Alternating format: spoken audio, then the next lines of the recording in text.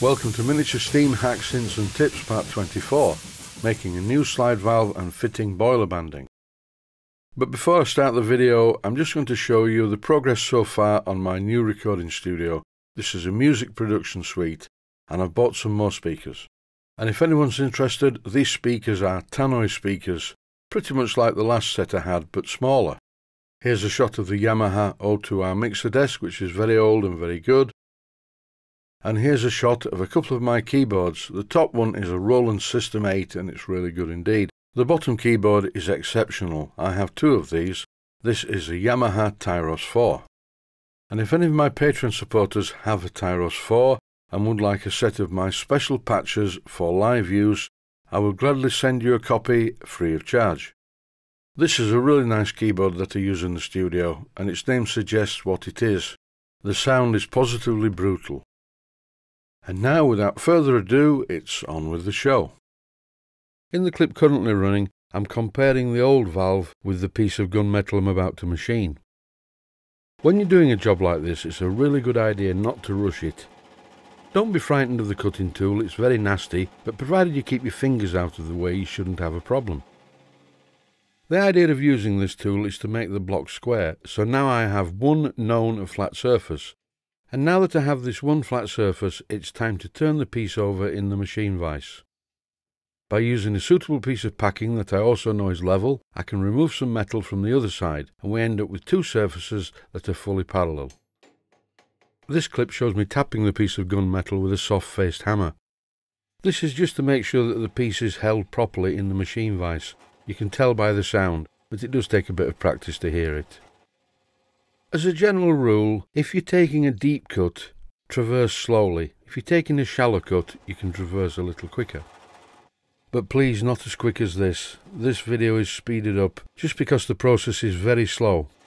The speed that you can go at is really governed by the strength of the milling machine, but do be careful. If you break a tool, not a facing cutter like this, but an ordinary milling tool, it can be really bad. I once did that, the milling cutter snapped, and it whistled past my ear and embedded itself in the concrete wall of my workshop.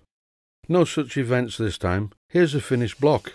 What I'm doing here is rubbing the block up and down on a piece of 400 grade wet to dry sandpaper. This removes all the sharp edges.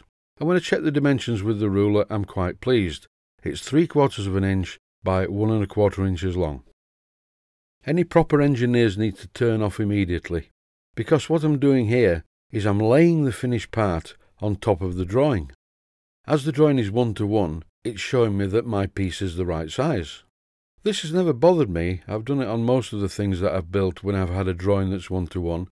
When building model aircraft, and I've built plenty of those, you put the plan down on a piece of board, and then you pin the pieces of balsa to the board and glue everything together, and finally remove the pins and remove the piece of aeroplane, and it's the right size. So unashamedly, I show you how to do this. In this clip I'm showing that I have already cut two pieces of brass banding and I'm seeing whether they fit around the cylinder. The brass banding will of course need bending strategically to fit around the cylinder. And because the mahogany cladding is stuck to an uneven cast iron cylinder, you may find that one side of the cylinder's external diameter may be slightly less than the other. So it's a good idea to have a bit of a play with the brass banding to make sure the pieces that you're using are the right length for the position on the cylinder where they are going to be and then it's time to use the ruler and start marking out. I'm scribing a line half an inch in from each end. I'm going to drill holes here and tap them 6BA, so it's very important that none of these holes that I'm about to drill in the cylinder break into the existing stud holes. That would not be too smart. So if you're doing a job like this, always have a look before you do it. I'm quite close to the stud hole, but not close enough to break into it.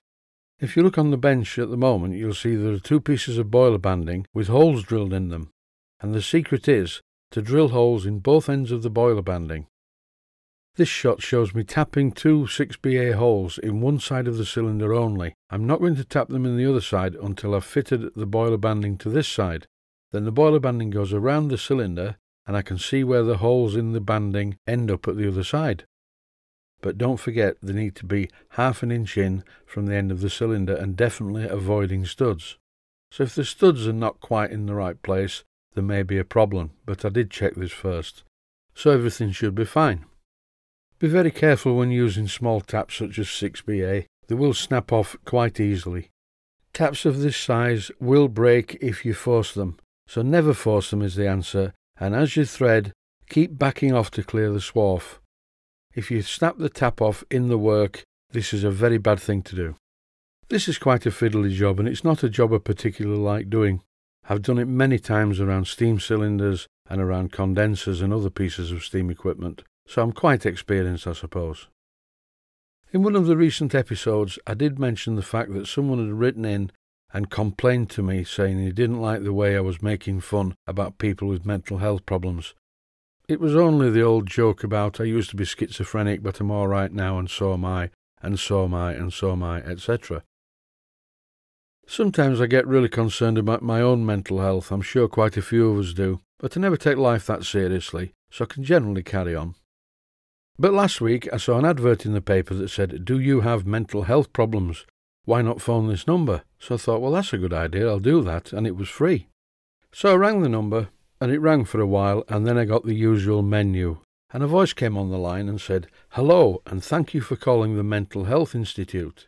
These menus drive me insane. You know, press one for this and two for this and three for this. So the voice continued and launched into the menu. If you are OCD, just press one repeatedly.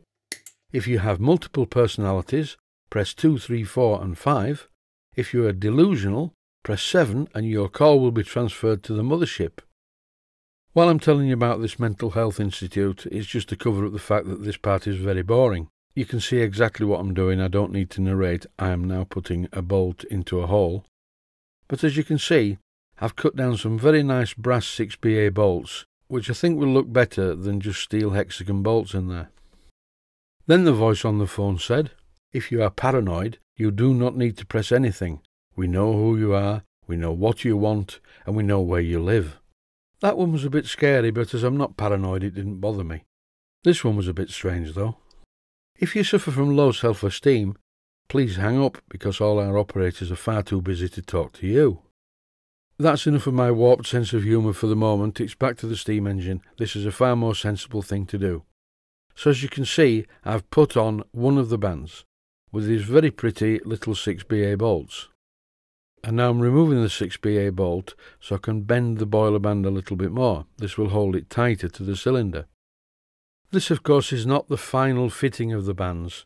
I need to paint the cylinder and I need to give the mahogany another good rub down and some more varnish.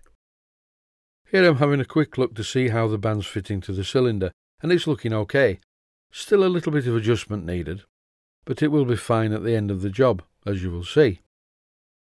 When I drilled the holes in the boiler banding, I drilled them slightly oversized for 6BA, so there is a little bit of longitudinal adjustment available and this adjustment, plus being able to bend the band wherever I need to bend it, and the fact that there will be more varnish on the cylinder, the band will stick to this varnish and remain in one position all the time. In this clip I'm measuring and marking out for the final hole, which I'm going to drill and tap in the steam chest, and once again being very careful not to break through into the hole for the steam chest studs. This shows the initial fitting, and it's not looking too bad, a bit of adjustment needed.